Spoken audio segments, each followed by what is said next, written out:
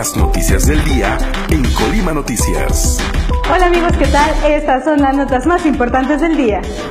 Iniciamos este resumen de noticias felicitando a todas las mamás hoy en su día social.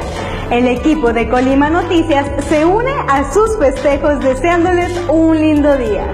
Y como cada año, los panteones del estado reciben a muchos visitantes, como es el caso del de Colima, que a decir de las autoridades se estima que más de 20.000 personas visiten este recinto. El PRD califica como retroceso que no se haga pública la declaración patrimonial de los funcionarios.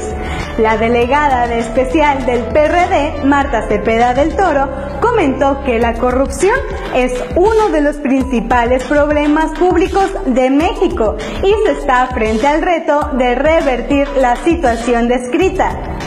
La legislación debe evitar que sujetos que tienen una posición de poder y de decisión violen los deberes tan incipientes como es el de hacer públicas sus declaraciones patrimoniales.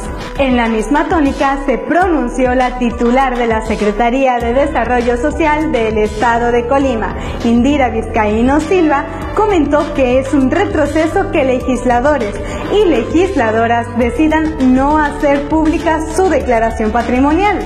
Expresó que espera que diputados reflexionen sobre el tema y lo pongan en consideración, ya que si bien lo acaban de aprobar, nada les impide corregir en el caso de considerarlo necesario. Y sobre el mismo tema, el diputado panista Luis Ladino admitió que la reforma constitucional de dar paso a la armonización de la reforma federal en materia de transparencia está incompleta.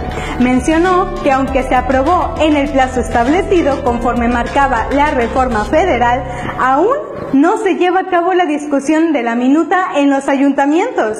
Señaló que es un decreto que el 5 de mayo era el último día para armonizar esta ley y que ese día se cumplió, por lo que se está dentro del marco legal. La Cruz Roja Delegación Colima informó que concluyó boteo de la colecta anual y que en julio darán a conocer la captación total. La coordinadora de captación de fondos de Cruz Roja Estatal Colima, Cintia Farías López, informó que por el momento se tiene un millón de pesos de lo que colectan las delegaciones y habría que agregarle lo que colecta el DIF estatal con sus casi 80 dependencias que coordina. Enhorabuena a esta benemérita institución. Y estas fueron las notas más importantes del día. Recuerda seguirnos en Facebook, Twitter y YouTube. Yo soy Fátima Garay y nos vemos mañana. Fue una producción de Colima Noticias TV.